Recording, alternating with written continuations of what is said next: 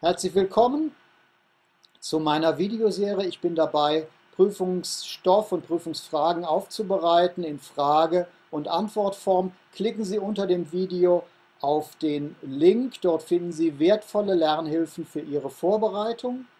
Die Frage ist eine Frage aus dem Bereich Organisation, genauer gesagt aus der Aufbauorganisation. Wir unterscheiden ja Aufbau- und Ablauforganisation. Und zwar werden wir aufgefordert, drei Merkmale von Stäben zu nennen.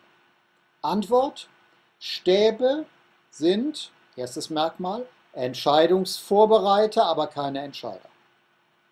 Zweites Merkmal, sie sind einer Instanz, also einer leitenden Stelle zugeordnet. Sehr oft ist diese leitende Stelle die Geschäftsführung.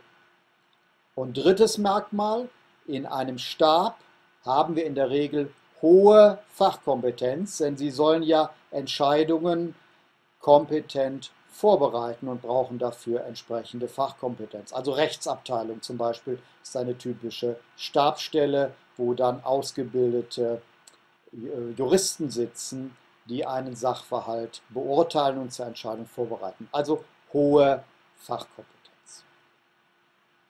Das war's. Klicken Sie unter dem Video auf www.spaßleindenk-shop.de. Machen Sie es, damit Sie mir nachher nicht eine Mail schicken müssen, hätte ich Sie doch früher entdeckt. Mein Name ist Marius Ebert, vielen Dank. Lernen ohne Leiden. Mein Name ist Dr. Marius Ebert. Seit mehr als 25 Jahren lernen Menschen durch meine Methode leichter und bestehen ihre Prüfung sicher. Meine Methode funktioniert schnell und sicher. Wenn Sie mehr darüber wissen wollen, dann klicken Sie bitte auf den Link unter diesem Video.